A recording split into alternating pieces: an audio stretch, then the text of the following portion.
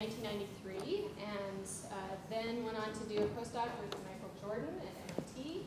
Uh, was an assistant professor at the University of Colorado Boulder. Then went to the awesome era of machine learning and AI at AT&T Labs Research. Took a year off to become chief scientist at a venture capitalist firm called Syntek Capital and then moved to the University of Michigan starting in 2002 where he is now a full professor and his research interests focus on developing autonomous agents that can learn in complex, dynamic, and uncertain environments.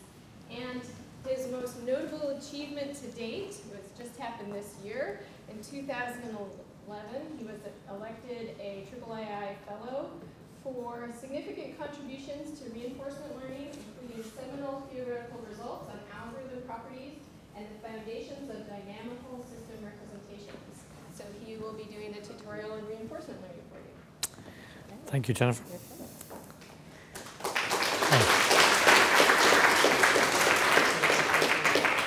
You should wait until at least I've said something. No, you may regret it. Um, well, uh, you know, I don't know how many of you are old enough to have seen Monty Python, but I do feel like saying, and now for something completely different, uh, because, um, you know, you've heard a lot of supervised and unsupervised learning, and we're going to do reinforcement learning.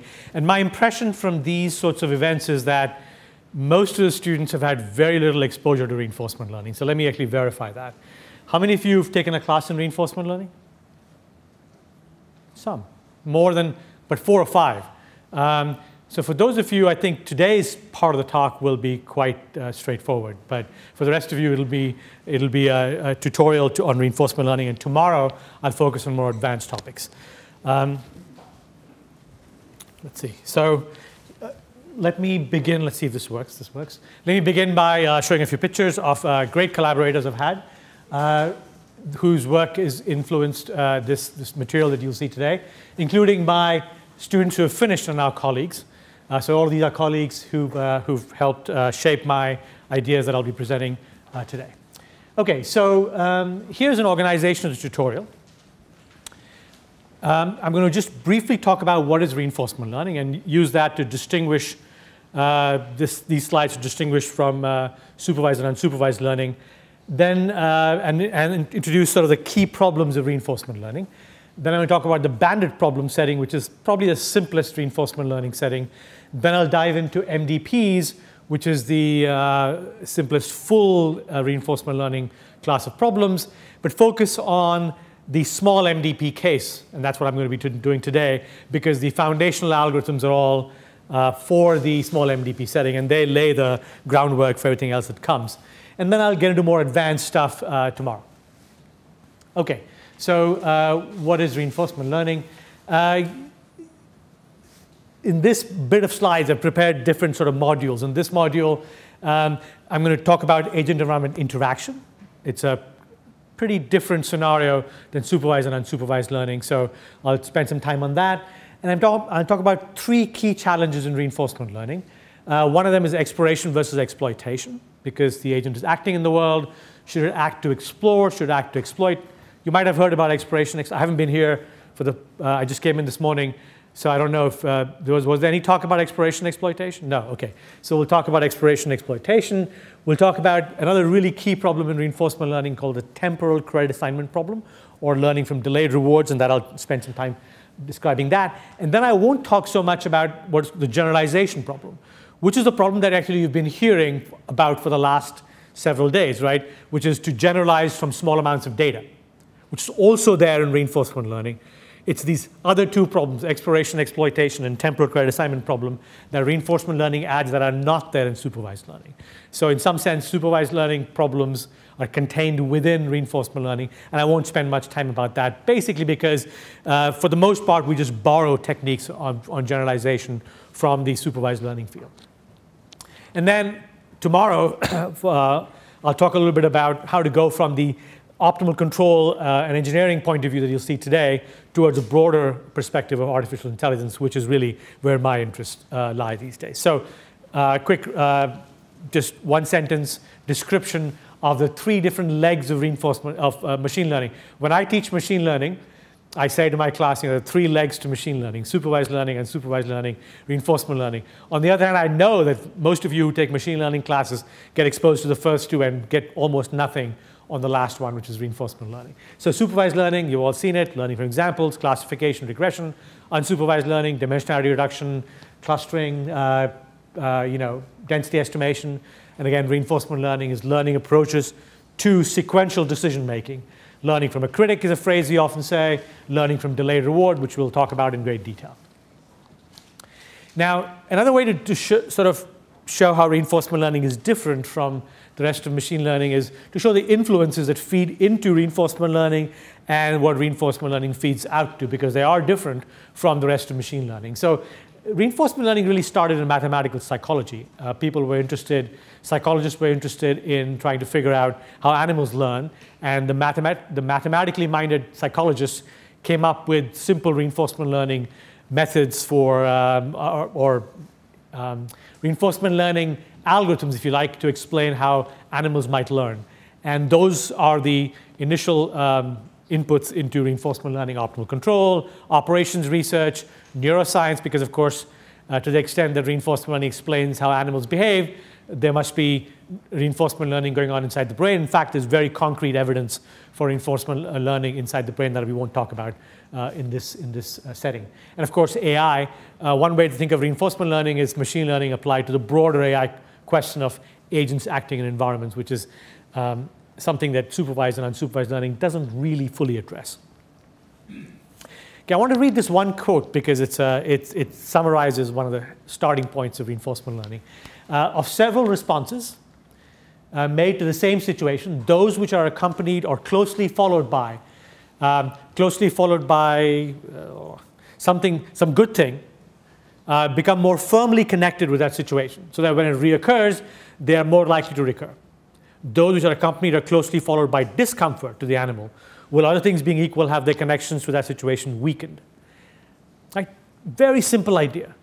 You do something, if something good happens, you try to do that again when you're in a similar situation.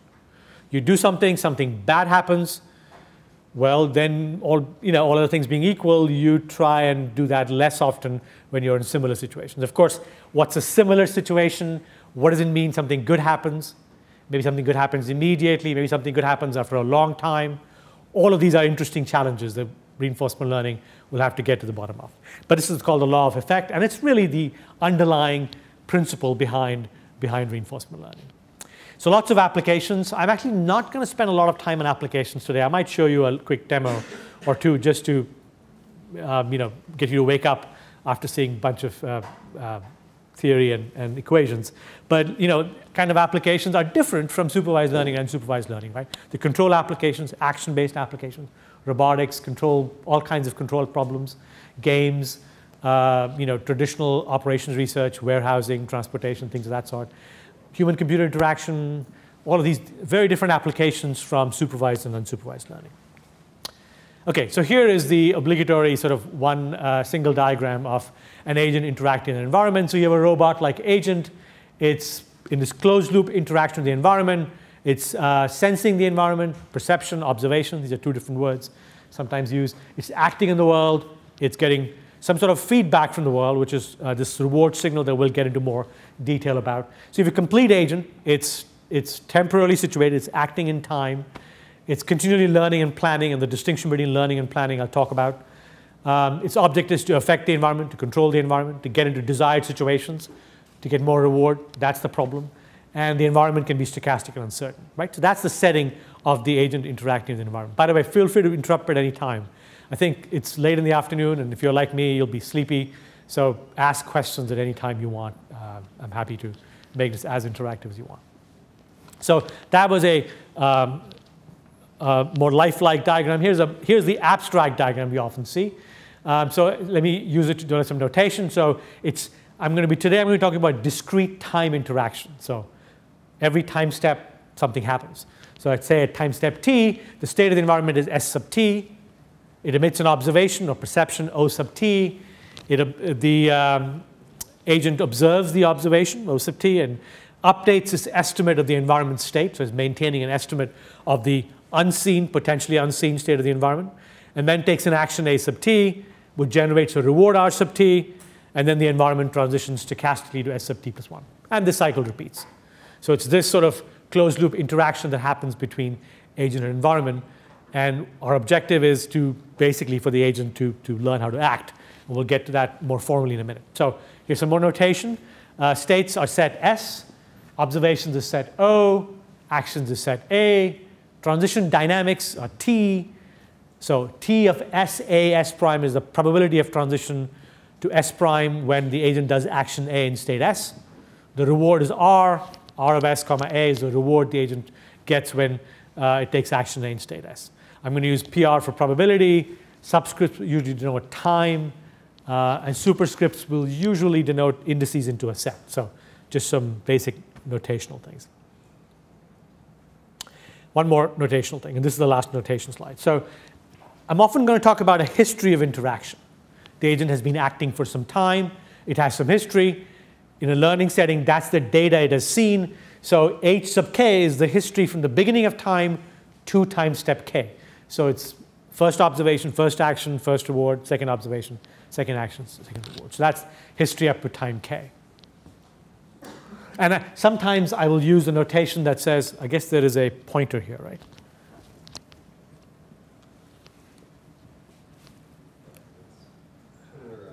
Turn around, press what? There. Okay. Uh, I'm going to talk about history sampled from an interaction between an agent and environment as H sampled from the interaction. Why is, why is history random? Because the agent could be acting randomly, because transitions in a state happen randomly, rewards can be generated randomly, so there's all kinds of randomness that generates these, these, uh, these things. Okay, so what's the agent's goal? Let's begin, begin, begin to get formal about what's the agent's objective is. There are many different types of objectives that are used within reinforcement learning. Let me define for you formally three different types of objective by defining what are called utility functions. So utility, there are three types of utility. Let's spend a little bit of time on this because I'm going to use this. So if you don't understand this, stop me. I want to make sure you get it. So there's some history H that's happened between the agent and the environment. Now, remember the histories have observations, actions, and rewards. How good is that history? The agent is trying to achieve good histories. What's a measure of goodness? Here's the measure of goodness. We're talking about three different settings. The finite horizon setting, where the agent is going to live for a finite amount of time, capital T. So the index little t is the amount of time remaining. So basically, it's the sum of the rewards in the history in time, the last t time steps. That's one way to take a history and map it into a goodness number, utility. So u of h, u sub t of h in the finite horizon setting is the utility, the goodness of this history if there are t time steps remaining. Then often we study infinite horizon problems where the history of interaction is infinite. And then here is one of the standard ones, which is a discounted sum of reward. So this is the discounted sum of reward over time. So gamma is a scalar between 0 and 1. Let's say it's 0.9. What does that mean? This means that a dollar today, so a dollar tomorrow is worth 90 cents today if gamma is 0.9. So it's a discount factor. Okay? So it's an exponentially decaying amount of uh, reward in the future. Okay. Um, we'll also allow for gamma equal to 1 with infinite horizon, but then we'll require this sum to be finite. The way we require the sum to be finite is a technical thing called all policies are proper. I won't get into that. Then another very standard utility is the average reward utility, where you're trying to maximize the average reward over the infinite horizon. So now I've defined for you, in some sense, the problem, the reinforcement learning problem. You have an agent, it's acting in the world. When it acts in the world, it gets rewards, it controls, it changes the state of the world. And how good is a particular interaction? Different measures. We can use any, either of any of these depending on what the setting is, what the problem is. Let me finish by saying now what the goal is. So the goal, the formal goal, is to behave so as to maximize expected utility. That's it. That's the reinforcement learning problem. An agent's interacting in the environment. Its goal is to maximize expected utility, measured in the finite horizon, the average case, the discounted case. The cool thing about this is that it seems very straightforward and simple, but it's a very, very general problem, right? Basically, it allows for arbitrary preferences over agent behavior. Allows for arbitrary notions of goals and sub-goals and multiple goals. If you come from an AI background, you're familiar with the notion of goals and sub-goals and multiple goals, balancing different goals. All of these can be formulated in this very general way. If you have questions about this, if you, if you don't believe this, or if you don't, if you have thoughts about this, ask a question. Yes. Are there standard form of utility function, or is it subjective, or depend on the experiment? So, you know, almost all of reinforcement learning starts by saying, here is the utility function. It is similar to like Bayesian ideas that you know you have a utility function and you want to maximize it, but no one no one knows what that utility function is. Is there a notion like that in reinforcement learning? So, for example, if you're, let's take an application. If you are trying to deliver mail, you get a reward every time you deliver mail correctly. The uh, utility is the average reward. Optimizing that would maximize the amount of mail that gets delivered most efficiently. If you are building an elevator scheduling system for a bank of buildings, and you decide that what you want to minimize is the amount of wait time, then you punish proportional to negative reward for amount of wait, and then maximizing the utility will minimize wait time. So that's how people think about it, right? They have a particular problem, they have an objective, they want that problem to be, to be achieved in that problem, and then that defines the reward function, that defines the utility. Now, it's actually a very interesting question, how to define the utility function. I've made it sound like it's very easy and very simple. In fact, tomorrow I'm going to talk about this question. Where do utility functions come from? So part of my talk tomorrow is going to be on that question. In fact, it's a very active area of research in my group. Uh, is exactly this question, where do rewards come from? But for today, I'm certainly going to assume the usual RL framework, which is the rewards are given, the utility function is well defined, and the objective is to have the agent behave so as to optimize that utility. Yes? So it seems that some of your utility functions are going to diverge depending on the data. So when a discount factor is less than one, they won't diverge. The average reward won't diverge. The finite horizon reward won't diverge. So the only one that can diverge is if you add up the rewards over infinite horizon. Turns out, if you're in that, you don't do that unless you are in a setting where basically um, uh, you get zero reward after some finite amount of time, except that that reward time is not fixed, which means that the rewards utilities are finite. So finiteness is not an issue. It's just, um, it's just, I, I just wasn't very careful about it. Yes. You said that you work in this agent. Is it plural or singular? Are you working with multiple agents? So I'm going to only talk about single agents. Maybe tomorrow we can have some questions about multiple agents if you like, but today at least a single agent setting. So if an agent in an environment uh, and trying to uh, optimize utility.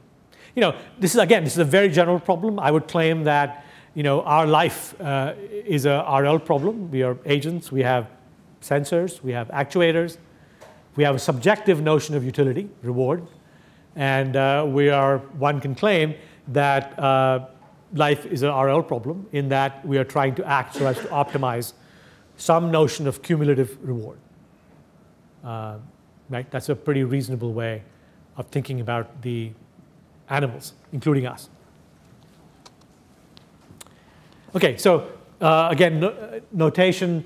The objective is to maximize expectation or all histories sampled or some way of behaving and maximizing this uh, expectation is the objective for reinforcement learning. Okay. Yes. Sorry, uh, I didn't quite understand the notation, the uh, notation. So this is the um, expectation, And uh, and this is just the expectation over. C's M, that? Yes, so, so maximize over all ways of behaving. And we'll think of ways of behaving as policies. I'll make that more precise in a few minutes. And so it's the, the history that the, the interaction that gets generated depends on how the agent is behaving. So actually, this should be policy, not policies. So you fix a policy that generates a distribution over histories, that generates an expectation. You're trying to maximize uh, these, this expectation. So M No, M is the environment. M is the MDP, sorry. M is the environment. M is the environment, E is for expectation, H is the history, U is utility, H is history. Okay. All right, so what are the, let me now make sure you get the three big challenges that the, ag- the RL faces. Basically, one of them is exploration exploitation, right? You're an agent, you're acting in the world, you have some partial knowledge about the world. Should you act so as to maximize the reward you can get based on your current knowledge? That's exploitation. Or should you act so as to improve your state of knowledge so that later you can get more reward? That's exploration. So you have to balance this exploration and exploitation. It's called exploration exploitation dilemma. It's called exploration exploitation trade off, all different terms for the same idea, same question. Notice this is not an issue in supervised learning or unsupervised learning. Active learning gets closer to this. But in standard supervised and unsupervised learning, this is not an issue. So this is one of the big challenges in, in reinforcement learning. Here's another big challenge. It's called the delayed reward or temporal credit assignment. Say you play a game of chess and you lose. So you lose, you get a minus one reward. So now you've made 100 moves and you've lost. How do you figure out which move was responsible for the loss? How do you assign credit or blame in a temporal sequence for the outcome, for the delayed outcome? It's possible that you played perfectly except for the very first move, or the 15th move, or that you played many moves badly. How do you figure that out by playing? That's temporal credit assignment or dealing with delayed reward. Right? That's also not there in supervised learning. And it's a core problem within, uh, within reinforcement learning. And the final problem is, is the more familiar one, the generalization problem, right? You're acting in the world, you're going to see, you're going to see things you've never seen before. You want to generalize from what you've already learned to things you haven't seen before, to situations you haven't seen before. And that's the usual generalization problem. And again, I, I really won't spend much time talking about generalization simply because supervised learning is where the action and generalization is, and we just basically borrow ideas from supervised learning for the generalization part. Are these questions clear? Because if they're not clear, then it, my, you know, the rest of it won't make much sense. Yes? So the environment is like completely controlled by the action of the agent, there can be some external effect, but in that case, it would be causal effect. there, will, there can be arbitrary other effects. So the agent acts, the environment has some um, next state, it's chosen randomly, which could be influenced by the action of the agent, could be influenced by other things. We're not going to, we're, we're going to model it. You'll see a, the formal model in a few minutes. Um, but yes, in general, the environment, the agent acts, the environment is the next state distribution which is influenced by the choice of action. Clearly, if the agent's actions don't influence the environment at all, then there isn't a much very interesting problem. Because no matter what the agent does, the environment does the same thing, then there's not an interesting control problem. Did I answer your question? Yeah, I'm kind of looking, uh, looking the perspective which is like playing game. A move can be bad depending on what the other, the other. Yeah, so the games are multi-agent settings, so there really are two agents. For the most part, I'll think about single agents. So imagine you're playing against a fixed player. So I'm playing against, I'm playing chess and I'm playing against uh, GNU Chess, which is a software program that plays in a fixed way. So it's an agent, but it's really just part of the environment. I make a move, there is a next board that happens after the other agent moves. Right? So clearly the next board I see when I make a next move will be influenced by what I do, but something else also plays a role, and that's okay. The question, the distinction is, am I modeling a single agent or am I modeling multiple agents? That distinction is an important distinction, but I'm going to stay with a single agent setting. So we're going to model single agents. But the environment chooses the next state as a function of its previous state and the agent's action, but can add random noise to it. You'll see, you'll see, you'll see uh, uh, more in a, in a few minutes. Okay. Let me anticipate something I'm going to do tomorrow, uh, which is sort of to in the more advanced topics. Um, today I'm going to focus on the sort of, you know, the, the classic RL problem. States are given, actions are given, reward functions are known. What the reward function is known, what the model, uh, what models to learn or build or know uh, or have uh, is also known. And of course, when you think about general purpose AI, which is where my interests primarily lie these days, uh, all of these are unknown. And so bulk of what I'll talk about tomorrow will be how to deal with these sorts of issues. But today, I'm going to assume these, these things are, are known and available. Okay. I should have said that um, you can find problems, classes of problems, where you have one, any subset of these issues. So I will start by problems in which there is only the exploration exploitation problem. No temporal credit assignment problem, no generalization problem. Then we look at problems where you have both exploration, exp actually we have only the delayed reward problem with no exploration exploitation problem. Then we'll look at problems where you have both exploration exploitation and delayed reward. I'm again not going to deal with generalization. Yes? Okay. Um, you know, you're going to see that in great detail. Just ask me this again in a few slides if this is unclear. Because we're going to now move to, a, to the bandit setting, which really is purely focused on exploration exploitation. So this is what's called an n-arm bandit. Um, what's a one-arm bandit? A one-arm bandit is a slot machine, right? You pull a slot, pull the, uh, the arm, and you, know, you, get, you get some reward or not. And you pull it again, you get some reward or not. That's a one-arm bandit. There you only have really one choice. Pull that arm. I guess you have another choice, which is to stop playing. In an n-arm bandit, you have n arms. And you can pull any of the n arms whenever you want. And when you pull an arm, you get a random reward. So now you have this setting. You have n arms or n actions. Each arm has some known or unknown true expected reward. So E of, no, not this. E of R1 is the expected reward from R1 or action 1, expected reward of action 2, expected reward of action. And the agent's objective is, of course, to maximize utility. Say the sum reward over time. Now, um, now, why do I say it's purely exploration, right? There is, there's no state space here. That is, you're in front of the slot machine, and every time step, your actions have no influence on what actions are available to you. See, in chess, when you make a move, the board changes.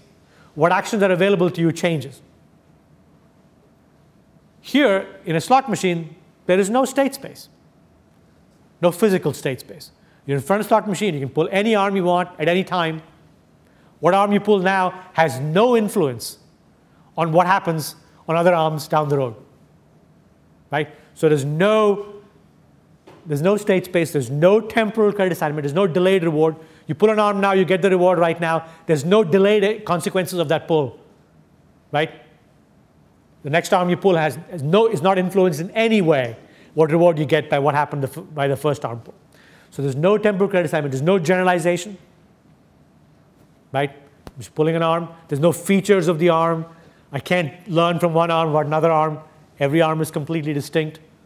So there's no generalization. So it's pure exploration exploitation, right?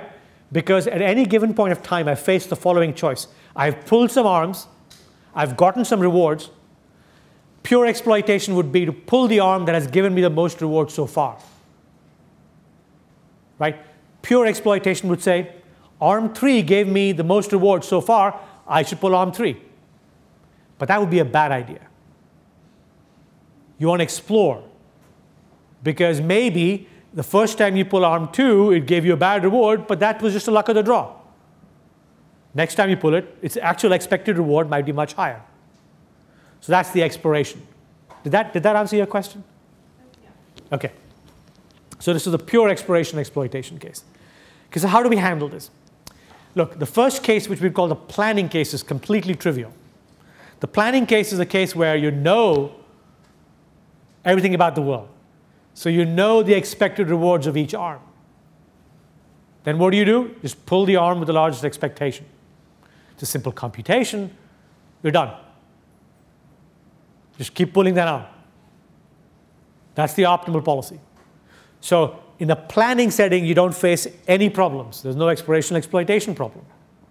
The interesting case, of course, is the learning case, where you don't know these expected rewards. You just pull an arm and you get a random reward from the whatever distribution is associated with that arm. Okay? So this is the case we are most interested in. All right, so here is, yes. What do you mean to say it's far more challenging? Ah, yes. Uh, let's see. So here the planning problem is really straightforward, right? I'm giving you some distribution or rewards for each arm. You have to compute the expectation, which may be slightly challenging or may be completely simple. And you have to take the max over all these n quantities, you're done.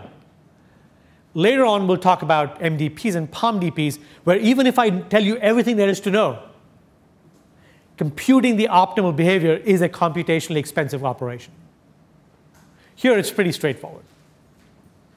So, so planning in bandits is a trivial problem. Planning in MDPs and POMDPs is not that trivial. We'll talk about, in fact, I'll go there as soon as I finish with bandits. Okay, so let's look at the most obvious learning algorithm.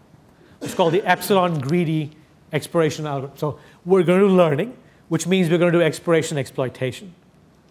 We can't simply exploit, right? Because what will happen? I pull the first arm, it gives me a positive reward. I'm only going to keep pulling that arm. So I can't do pure exploitation. So what do I do? I do a little bit of exploration. So here's a very basic exploration exploitation idea, very simple idea called epsilon greedy. Greedy means do what, greedy means exploit. So another way, another way of saying this algorithm would be explore with probability epsilon, exploit with probability 1 minus epsilon. Okay? So the algorithm is for all time, t going from 1 and so on, you maintain an, an action value estimate. Q sub t of i is the empirical average of the reward obtained until time t of arm i. So it's the, you've pulled whatever you've done so far, for every arm you're maintaining the empirical average of the reward because that's the estimate of its mean, mean reward. Let me just finish this and then I'll, okay?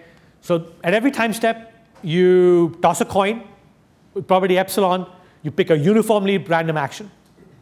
Probability 1 minus epsilon, you take the action, that's the best. Let me explain some notation here.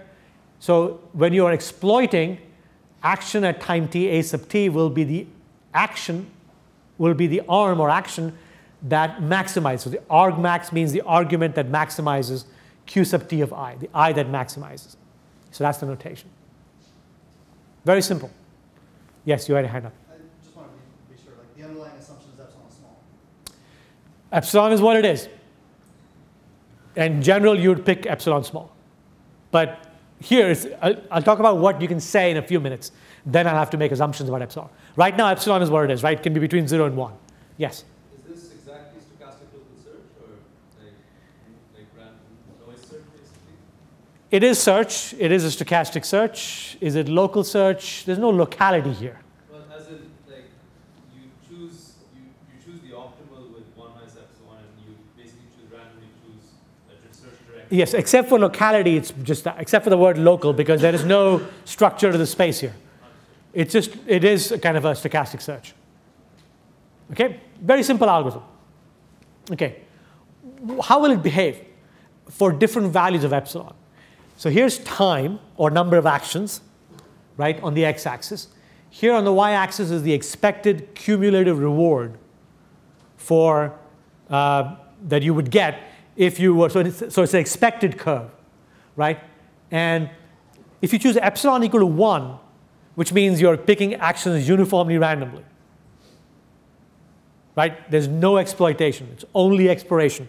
So then you'll get some flat curve, which is the average of pulling all the arms with equal probability. If you, if you decrease epsilon, what will happen is basically you will asymptote to a larger reward, larger cumulative reward. But you will get there slower. So the smaller the epsilon, the higher the asymptote, but the slower the learning. Why is the asymptote lower when the epsilon is larger? Because if epsilon is 0.4, then 40% of the time you're not going to take the optimal action. Even when you've learned everything you have there is to learn. So that will asymptote lower. Then, so the smaller the epsilon, the better in the limit. But the slower you learn because you're exploring less. So this is a fundamental trade-off, right? The more you explore, the worse you might do, but the more you will learn, and eventually when you exploit, you'll do better. Yes? I don't, I don't understand why there is an asymptote at all. Is that because this is the discount present value? No, it's a uh, oh, it's cumulative reward. That shouldn't be. I, I should have meant the average reward. A- average reward per time step, which will asymptote. Yes, I shouldn't use the word cumulative. What would happen if smaller than 0.1? Same thing. It'll just slower rate of convergence, but higher asymptotes. And with limit case, epsilon equals to 0? You should get to the optimal one, but infinitely late. Right? There is some. There is some uh, average reward per time step, which is higher than all these curves for just taking the optimal action. How do we find optimal action? Somebody help. I, I want to engage more of you so you don't go to sleep. Uh, how do we define the optimal action? Somebody help me answer that. Any- an oracle will tell you. Sorry? Raise your hand so I can see you. What an oracle will tell you at any given time. But more formally, yes, that's right. But what is the optimal action formally? We, highest expected reward. Every arm is an expected reward. That's what the oracle will give you, of course. So there's a well defined notion of there could be more than one optimal action, but that's okay. They'll have the same value. Okay, so very simple algorithm, and this idea is, you know, it's, it's prevalent throughout reinforcement learning. Epsilon greedy is actually not a very bad way. That's, that sounds a very British way of saying it. It's not a bad way of, of, of exploring. Um, okay, so but now let's try to get a result. Here's, an, here's a result we'll get, which is a PAC style. You've seen, everybody's seen PAC results this, in this summer school. Yes? More people nod if you've seen a PAC style result. I don't have to explain PAC style. You've seen it? No? Yes. Okay, good. I'll say a little bit more then. I, I thought you would have seen many PAC style but maybe not. Okay, so an algorithm is epsilon delta PAC with some sample complexity, t. Sample complexity means how many actions have been pulled. If within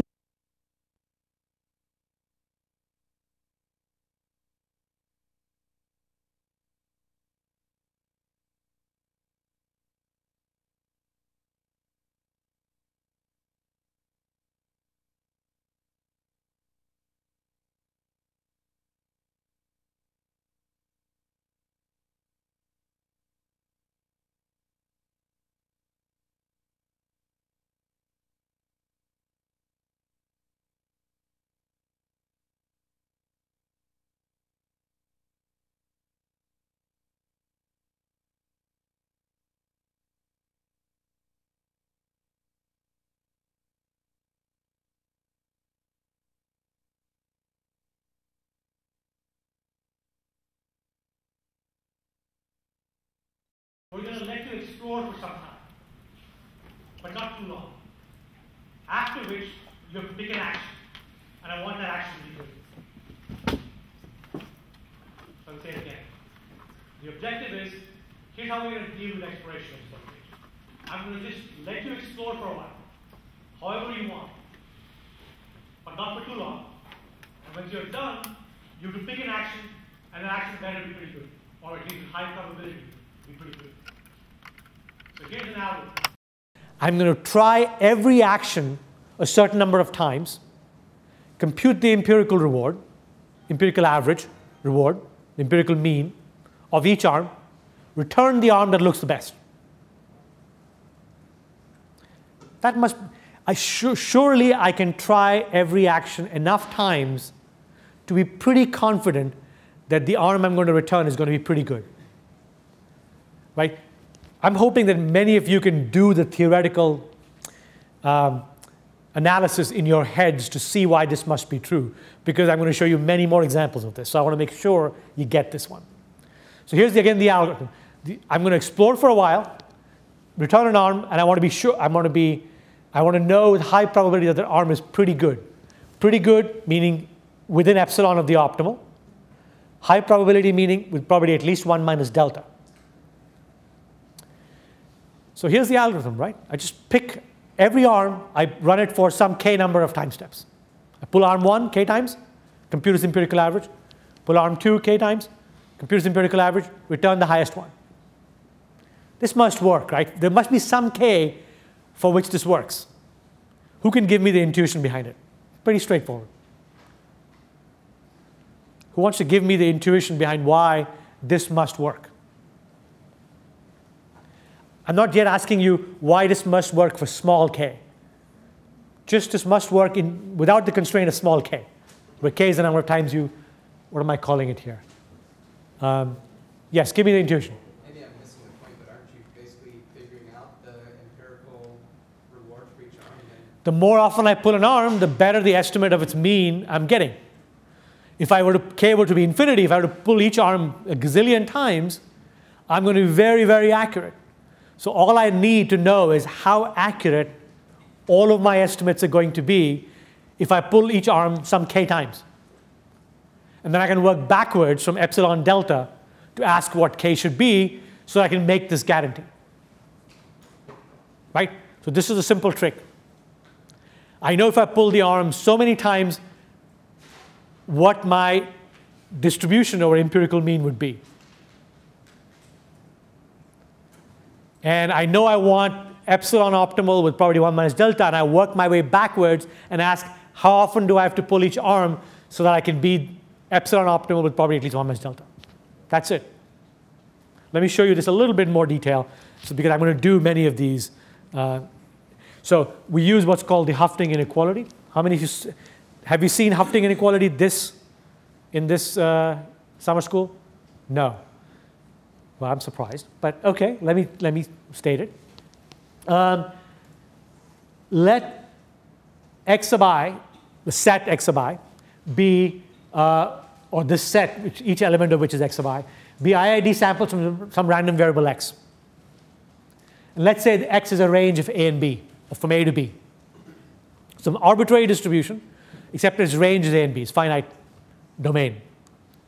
Then for all real k, if I take the sample average of n samples, the difference from the mean, the true mean, will be greater than k with at most this much probability. So what is this saying? This is basically telling me if I want this probability to be small, given a k, it tells me what n should be. It tells me how many samples I need in order to be epsilon sure with probability 1 minus delta. Right? K will correspond to the epsilon, and this quantity will be correspond to delta. So I just plug that in and compute what n should be. And what does it turn out to be? It turns out to be this, that if I pull each arm 2 by epsilon squared log 2n by delta, sorry, I'm confusing ends now. This n is a number of arms here. Okay? If I pull each arm this many times, then I'm guaranteed, well, I know that I have an epsilon optimal arm with probability 1 minus delta. And if you want to see the proof, it's pretty straightforward. Um, do I want to show the proof? I probably don't want to show the proof. Just, it's in the slides. It's just a application of Hoeffding's inequality.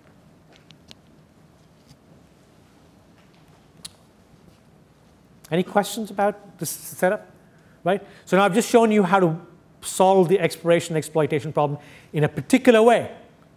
You get to explore for a while, and then you're committed to exploiting thereafter. It's not the only way to, to think about exploration exploitation. I'll show you more ways of thinking about exploration exploitation. Yes? What's that? Oh, uh, let's see. The trick is, look, um, let A star be the optimal action. Um, consider an action A that is more than epsilon worse than the optimal action. In other words, I don't want to return A. Right? So, which means when will I return A? When the empirical average for A is more than the empirical average for the optimal action. Will I split the epsilon into epsilon by 2? That can happen in two ways. Either the empirical average for A overestimates its true mean by epsilon by 2, or the empirical average for the optimal action underestimates by epsilon by 2. So then I do the OR, and that is, I can upper bound that by just the plus of the probabilities. Then I apply Hoeffding's rule, plug L back in, and I get delta by N, which is what I want. And then by union bound, because I want this to be true for all arms, that will multiply by N, and I get delta. If you've never seen a PAC style proof, you should, because it's actually very intuitive and simple. And you can use this as an example to, to see the PAC style proof. But, but intuitively, it should be pretty straightforward why this must be true. The more samples I get, the more accurate my mean will be, and the more accurate my answer will be, and so on. Yes? But there's still always some small. Yeah, delta takes care of that. Yeah, delta, there's still some delta that even though you did it, you still didn't get it. Right? Absolutely. You can get really unlucky with small probability. Can you use that to take another level up and say how many times do I have to run the whole thing? Like how many times? You can just make delta smaller and run it more. Oh, right? You can always do that. Because delta is something you give to the algorithm, and then it computes what the number of samples should be.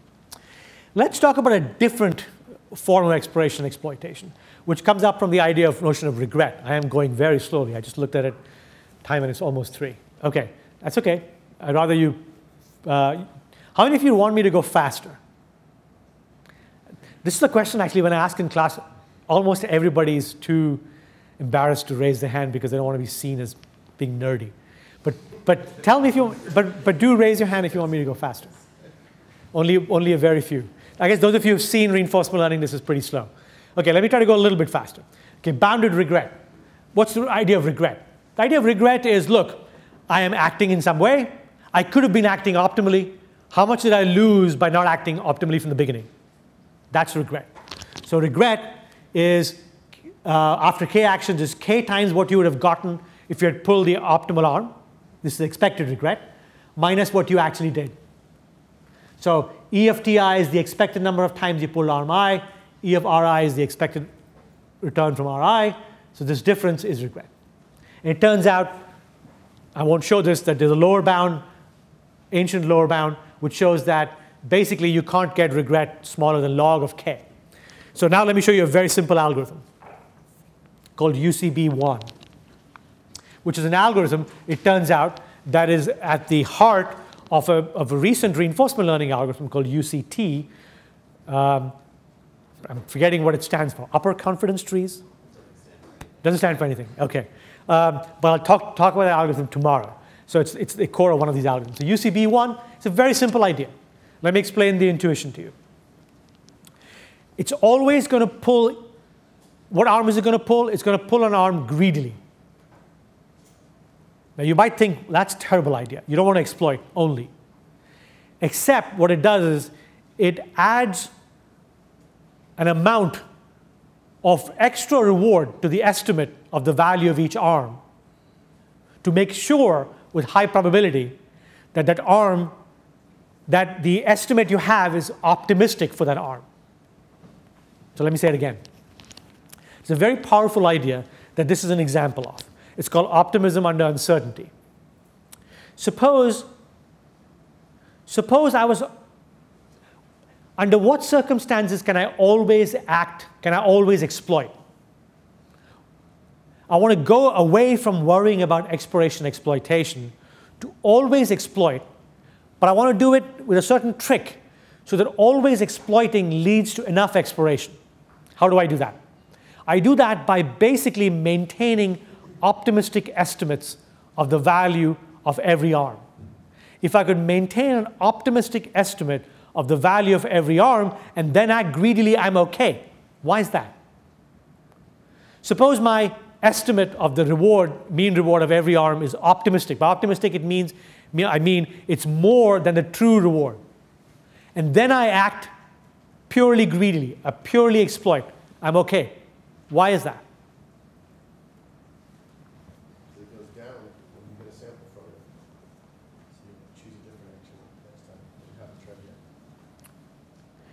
So that's true, but why can't he get stuck with the wrong arm? That's right. Basically, the idea is look, if I'm pulling, if I'm getting stuck on an arm, it means that has the largest reward. But I'm pulling it. So I'm going to, I'm going to improve its estimate. As long as my amount of optimism isn't very large, I'm okay because if I'm not pulling some other arm and its estimate is optimistic, then it's lower than the arm I'm pulling, so I don't want to pull it anyway. Make sense? If I'm stuck on an arm, I'm improving its estimate. As long as my optimism isn't very big, I'm okay. So there's a whole bunch of algorithms, whole bunch of ideas in reinforcement learning that all have the following form. I'm going to start optimistic estimates. I'm going to maintain optimism, but I'm going to shrink that optimism slowly over time. The amount of optimism, so that, and then I'm always going to act greedily. And if you do that, in effect, you do good exploration exploitation. So here's an algorithm called UCB1, I guess there's a UCB2, is the simplest one, which basically maintains the empirical average, but adds to it a quantity that goes down as you try the arms more often. TI is the number of times you pull the arm. So as TI increases, the additive bonus you get is smaller. Okay? And it goes up as you increase as time goes on. So if you haven't tried an arm for a very long time, you'll try it.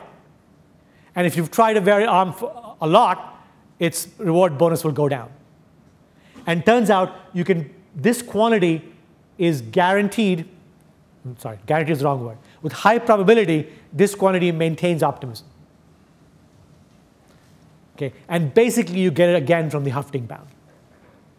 And it turns out you can prove for this algorithm that the expected regret is log k, where k is the number of actions you've done, which means the uh, per time step regret is going to zero because log k over k is going to zero.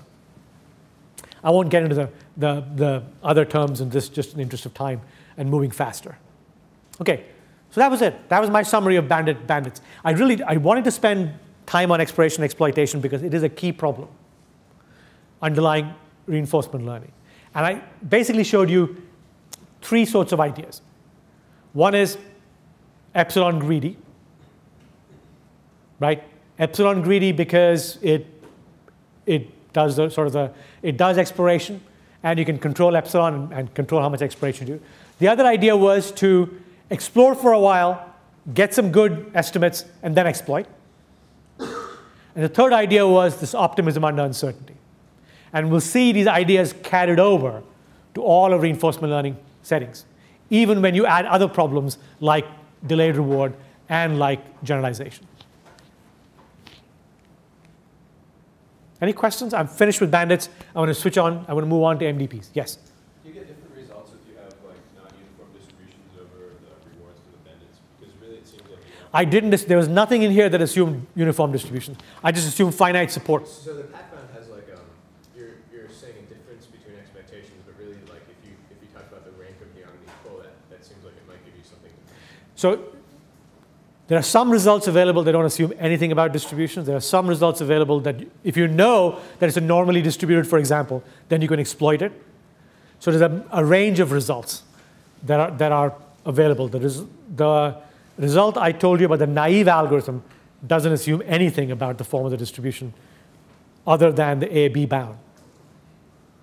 There are tighter bounds that you can get if you make assumptions about the form of the distribution. Yes?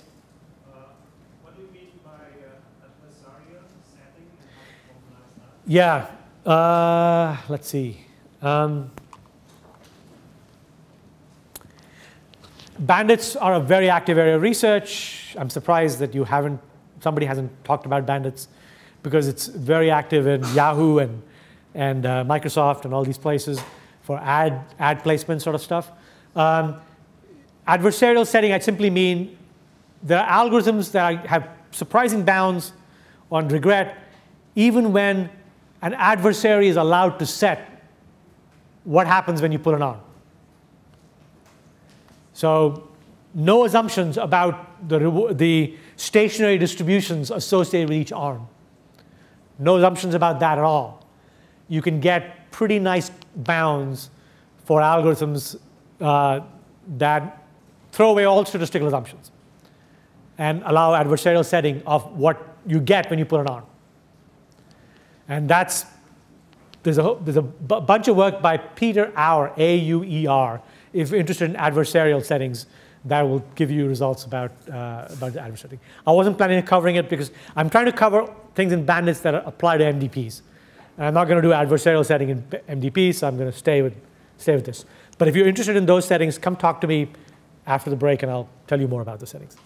Okay, let me switch on words to MDPs. Before I switch to MDPs, let me show you, you can see this.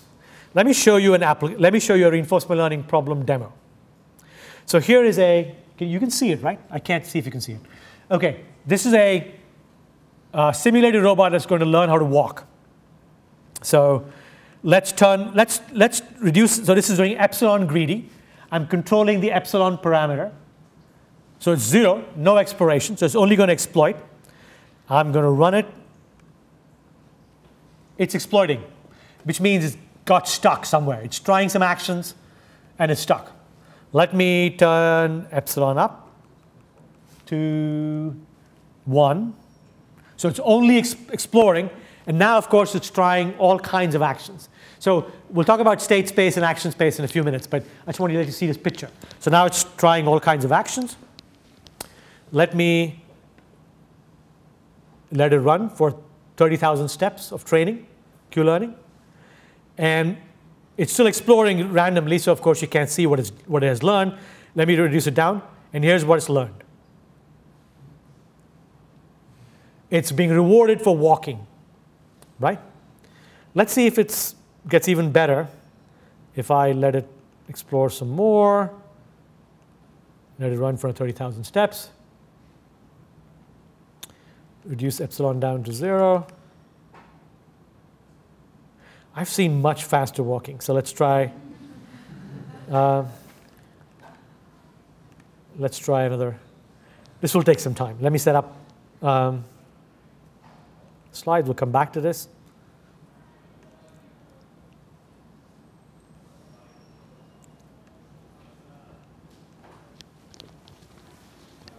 Okay. So now I'm going to switch to the MDPs, which that problem was an example. Um, so I'm going to do the MDPs, and I'm going to do uh, what's called planning problem. Yes, somebody had a hand up. A break. Okay, take a break. Good.